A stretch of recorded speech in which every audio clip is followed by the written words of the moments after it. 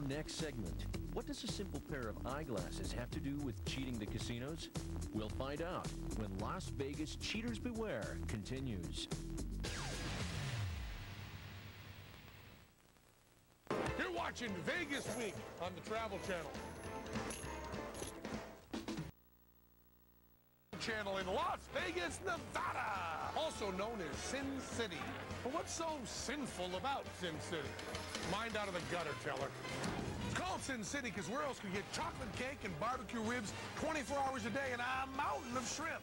Gluttony, my favorite sin. There have been games of chance and games of skill for thousands of years. And of course, the object of any game is to win.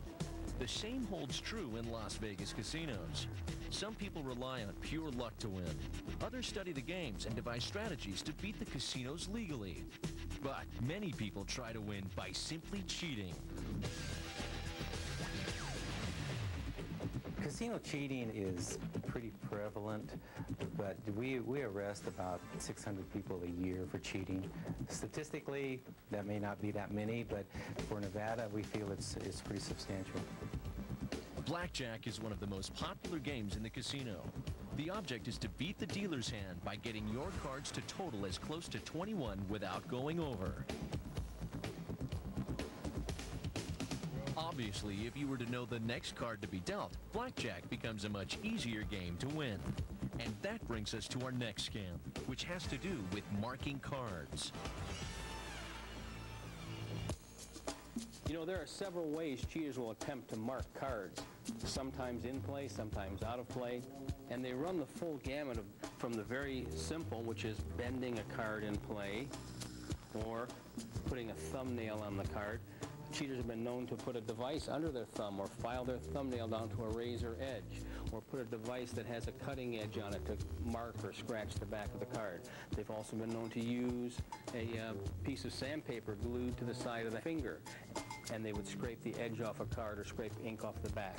Bending cards in the act of asking for a hit. Instead of asking for a hit like this, I ask this way, and I actually bend the card while I'm asking for a hit.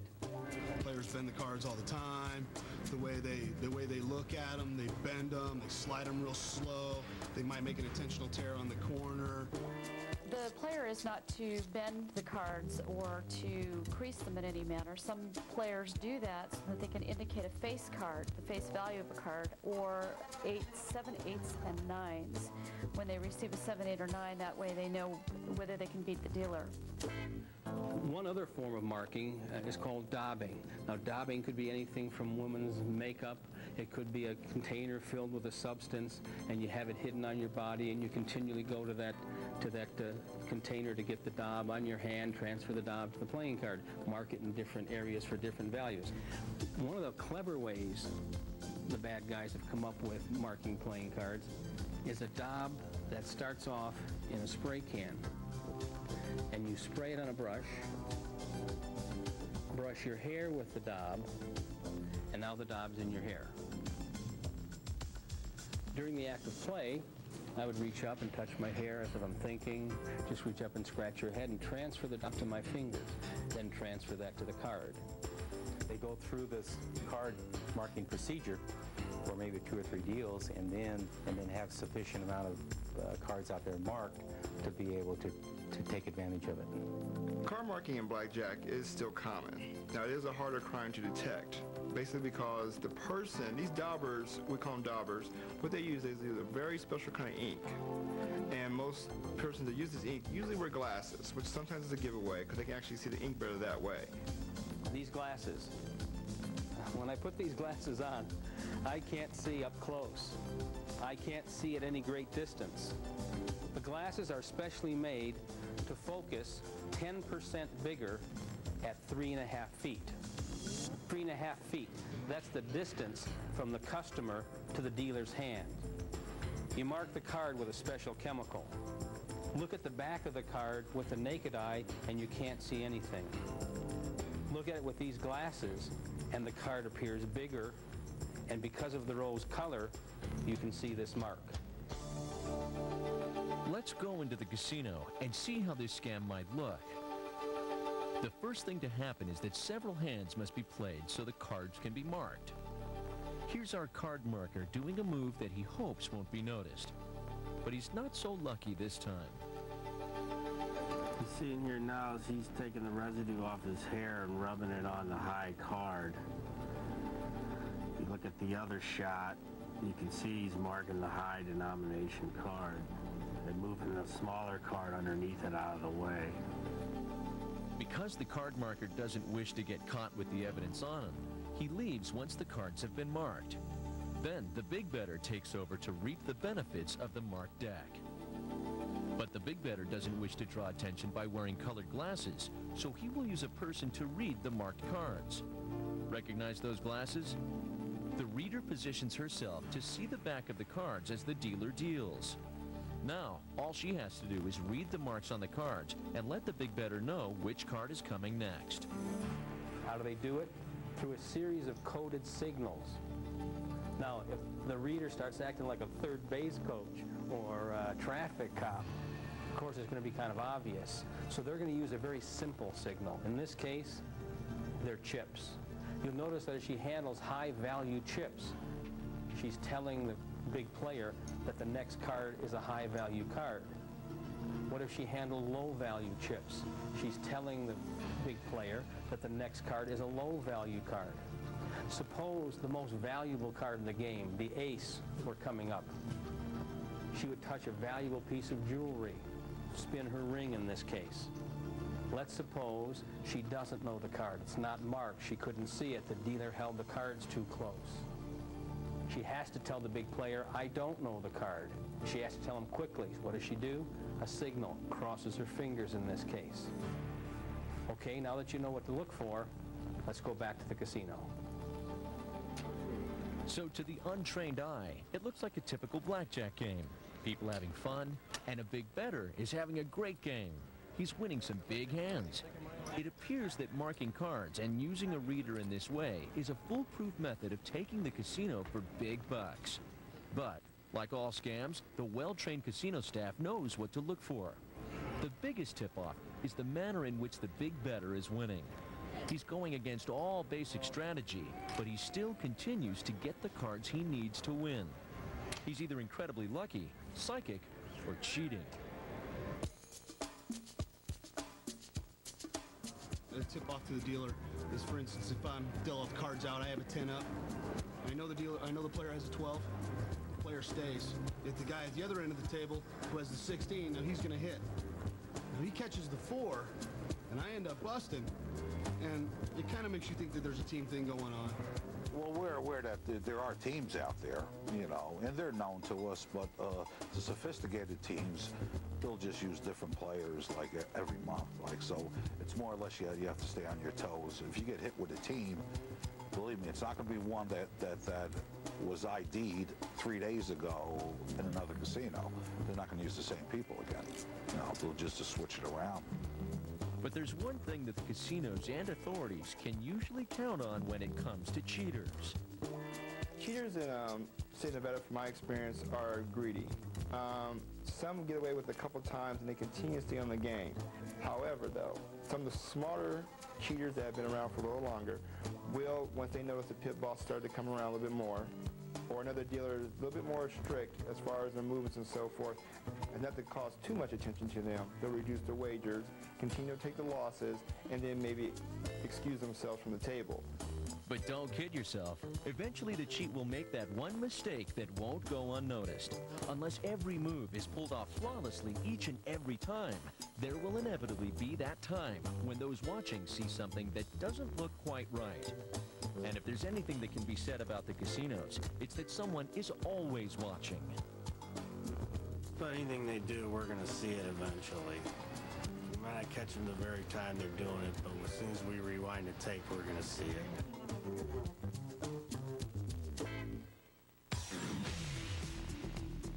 When we come back, I'm going to show you a cheating technique that I call the death grip and the fish hook. This is a tip-off to surveillance that someone's palming a card or holding out a card. That's the way an amateur might do it. A professional, on the other hand, might do it like this.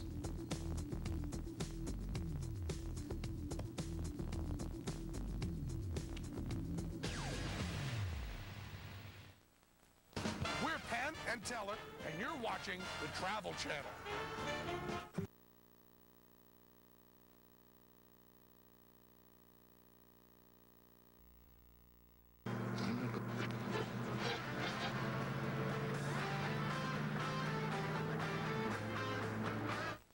We're back with Vegas Week, baby, only on the Travel Channel. Vegas casinos spend millions of dollars protecting their games of chance from con men, cheats, and rip-off artists. They use a combination of electronic surveillance equipment, well-trained dealers, and an alert gaming staff.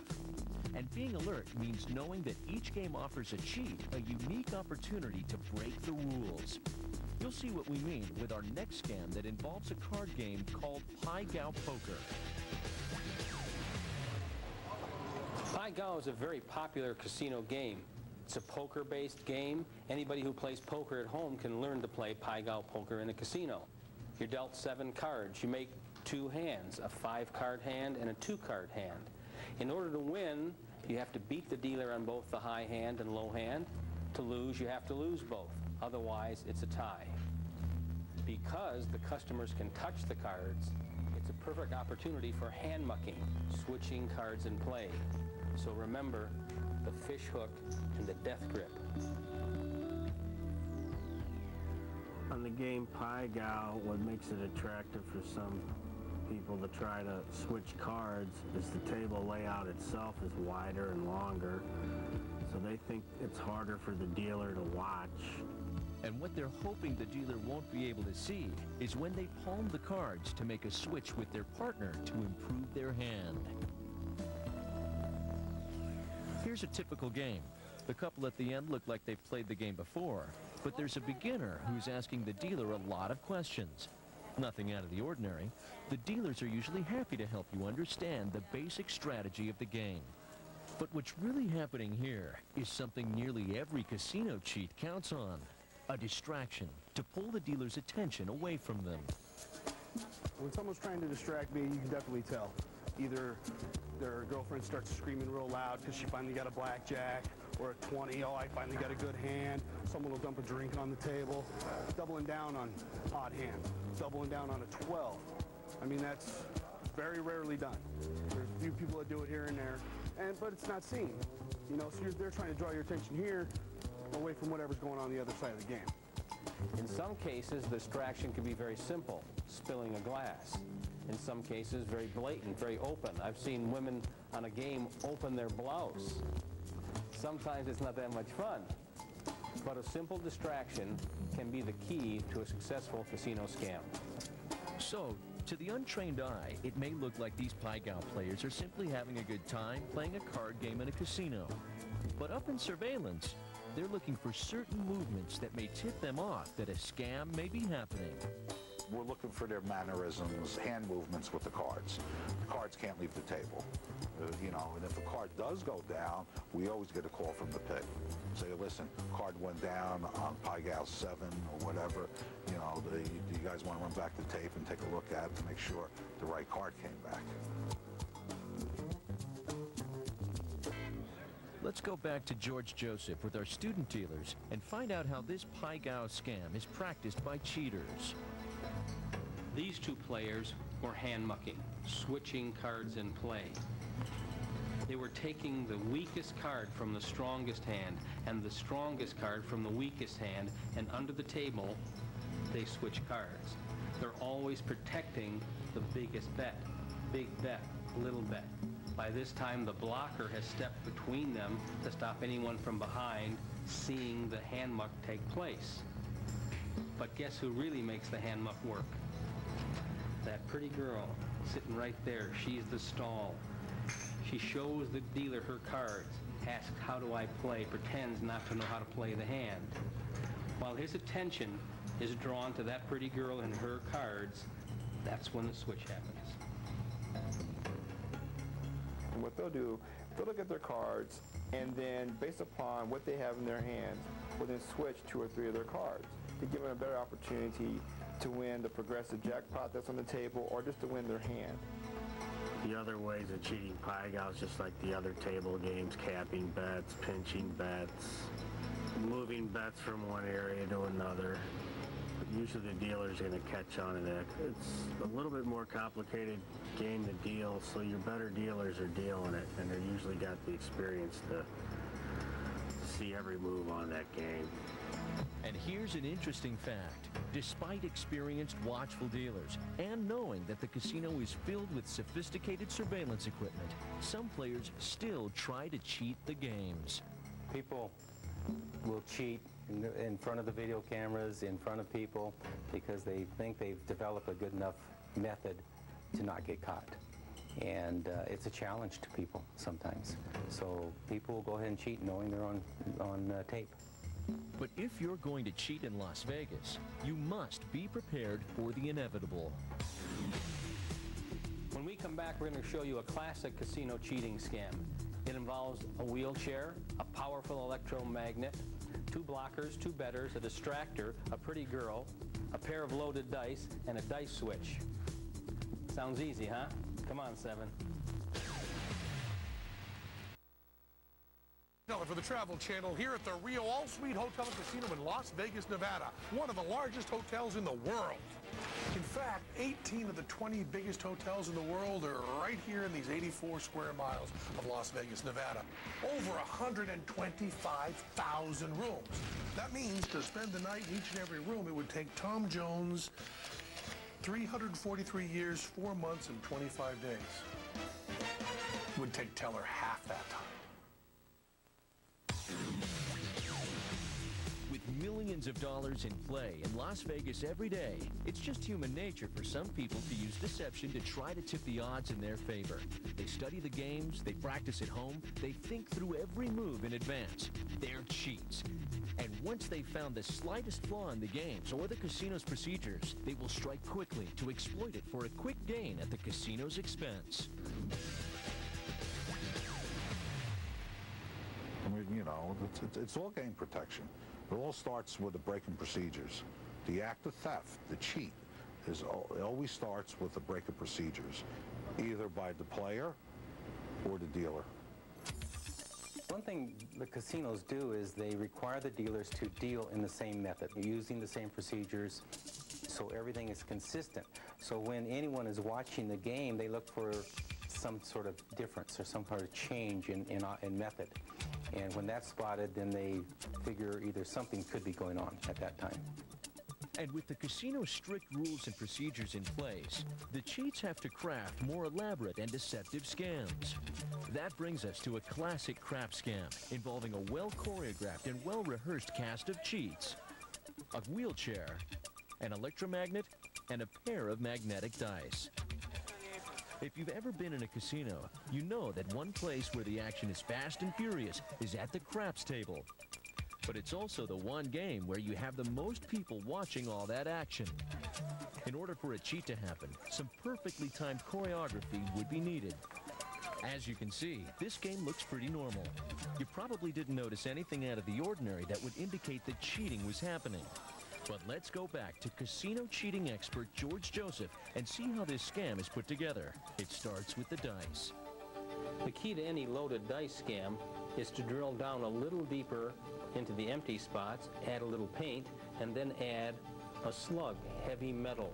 Put that metal inside on certain spots, which makes the load go to the bottom and the number come to the top. In the magnetic dice scam, instead of adding heavy metal, we're adding magnetic slugs. They'll be attracted to a magnet. Using two different colored pairs of dice, here's a close-up of how the cheats will get the loaded dice into the game. Remember, just getting caught with a pair of loaded dice in your possession in a Las Vegas casino can cause you a lot of trouble. If you had loaded dice on in your possession or any type of cheating device in your possession, it's a felony in the state of Nevada without even using it. Once the dice is used, it's just a continuation of the cheating and the violation of the laws. The next element in this scam is an electromagnet. In the old days for private games, you could wear a vest magnet hidden under your clothes. In the casino, they used a powerful electromagnet. But how did they get the magnet into the game? Here was the clever part. they built the magnet into an electric wheelchair. The batteries from the wheelchair powered up the magnet, the electromagnet. Watch what happens when the magnetic dice come in contact with the electromagnet when it's turned on.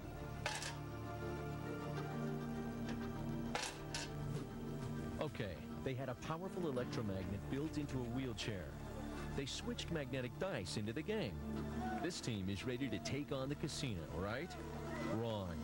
The last and possibly most important element to this scam is the coordination necessary among all members of the cheating team as the dice are rolled.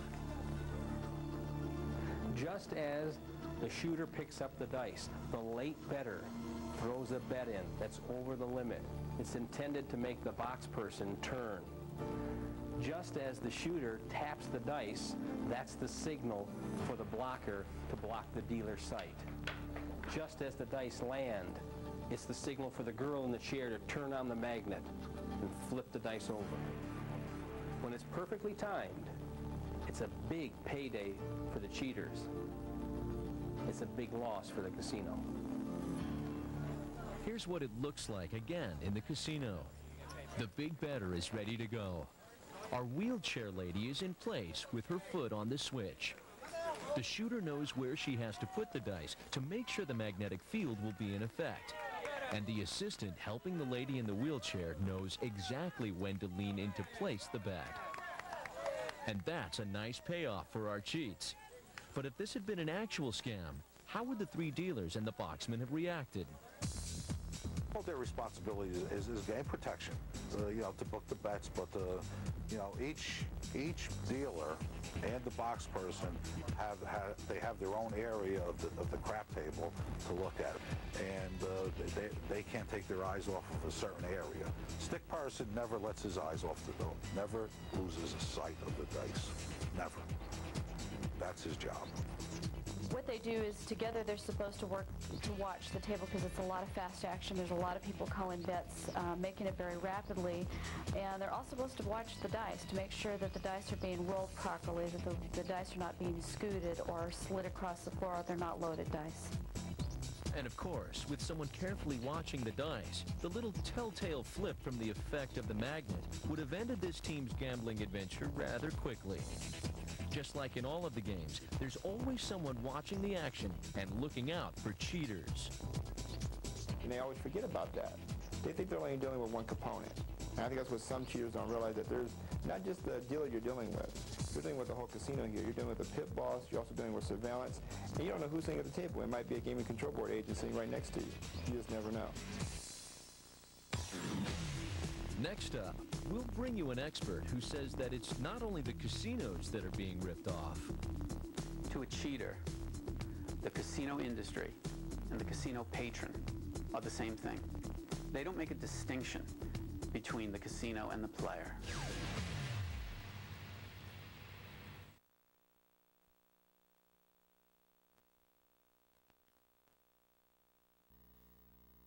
Only on the Travel Channel. We're Penn and Teller, and you're watching the Travel Channel.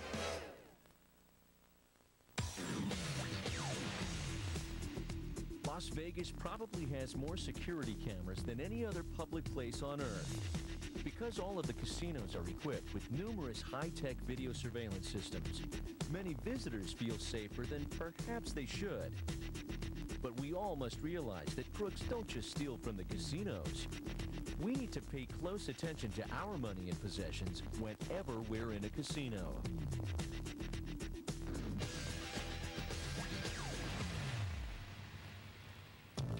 You can't assume that someone else is going to be watching over you, even though they're attempting to. You're an adult, and you must take an active part in protecting yourself. Not surprisingly, cheats will take advantage of any situation that will let them get rich quick. It could be the result of a momentary breach in casino procedures or the execution of a well-practiced sleight of hand at the expense of a patron. It's one thing to lose to the one-armed bandits. It's quite another thing to be ripped off by the two-legged ones. People go to casinos to have a good time. They're not thinking in terms of crime. And the casino criminals are aware of that. You're there to have a good time. They're there to take your money and rip you off. When we get a call, if somebody had a coin cup stolen from them, or they're missing chips off a game, we take that very, very, very seriously because they're coming after our patrons now. You know, it's not just us. When they come after our patrons, we take that to heart.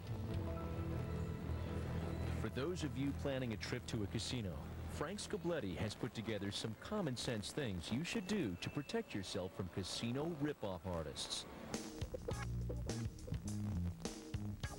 Anytime you're in a casino and somebody bumps you, you have to train yourself to move your hand to your money. So if someone bumps you, hand to shirt, hand to wallet, hand on purse.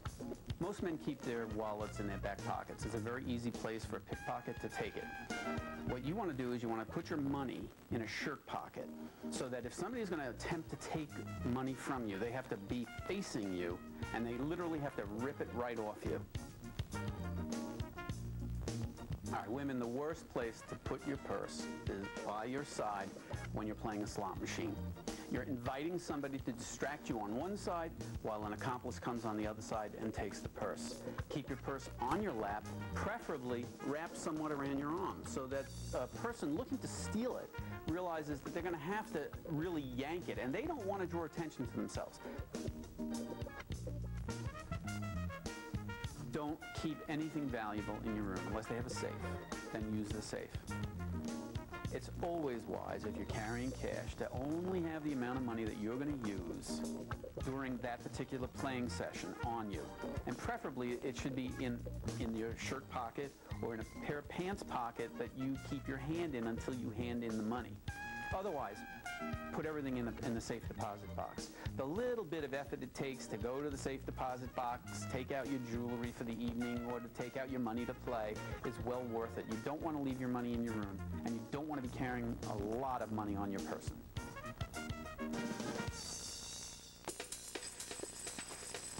Las Vegas is known as Sin City. However, many men think that when they're sitting at a slot machine or when they're playing a table game or when they're sitting at a bar, if a beautiful woman comes up to them and starts to tell them how witty they are, how attractive they are, how irresistible they are, these poor guys fall for it. And then they're charged incredible amounts of money to be with that woman. You're not irresistible. If some woman comes up to you and says, I know you're witty, I know you're so handsome, I know you're terrific, she's either a hooker or a crook, or both. If you're playing a slot machine, one of the biggest slot scams is for a team to work a player. They'll just walk into a slot area, they'll look at a person usually by themselves, they'll never go near a group, looking for a person that's playing. Drinking doesn't make a difference if they're drinking or not. And then they'll do a, a drop and snatch type thing where they'll, they'll drop like a couple of coins, say, oh, you dropped your money, and the person will bend over. Then they'll have another person take the cup and walk away, usually a two-person team. Some of them do it by themselves, you know. It's more or less what you're looking at is just people taking advantage of the situation. The way to protect yourself is simple. Somebody drops coins, you don't see them drop them. They go, oh, excuse me, man, there are some coins on the floor. You just turn around and say, would you pick them up for me, please? I have a bad back. Most of today's slot machines are really sophisticated. However, some of the older machines that do take bills don't always work right. They will reject a bill. Astute criminals will scope out a casino and know which machines have a tendency to reject the hundreds or the 20s. And what they will do is this. They'll have one person come and distract you just as you put your money in to get your credits. You'll talk to that person. You'll go back to start play. Find that you don't have any credits. The machine has rejected your bill, and the accomplice on this side took the bill and ran. If you win big at a slot machine, a big jackpot, if you win big at a table game, never hesitate to ask the casino to provide security, to walk you to the casino cage, to walk you to your room or to your car, because a big win will attract not only people who are applauding your good luck, but people who would like to take some of that good luck for themselves. So always ask security if you, if you have a big win to escort you wherever you're going. When you're playing table games, you should take a leaf from the casino notebook. If you take a look at the way they organize their trays, they have the higher denomination chips right in the middle, and then spreading out lower and lower denominations until finally you have the coinage. Why do they do that? So that if a thief comes, he has to reach right across the whole table to get at the big denomination chips. They're protecting themselves with the little chips. At a blackjack table, put your high denomination chips on the bottom, your low denomination chips on top of them. So again, if somebody's going to try to snipe a chip, they can only snipe the little chips on top. It's very, very hard to snipe from the bottom of a pile. A lot of times on craps, the most common thing we have is a patron trying to steal from another patron on the rail. They call them railbirds. They're almost always caught. They might get away with it once or twice, but once we rewind the tape and see who they are, for some reason these people always come back. They'll keep doing it until they get caught. And ultimately, they do get caught. The perfect crimes may have been committed. The person who does that one-time crime, never hear from them again, fine. That's like the player who comes to Las Vegas once, wins, never plays again. He's beaten the system. But for most cheaters, most criminals, they will do it over and over and over until they're caught.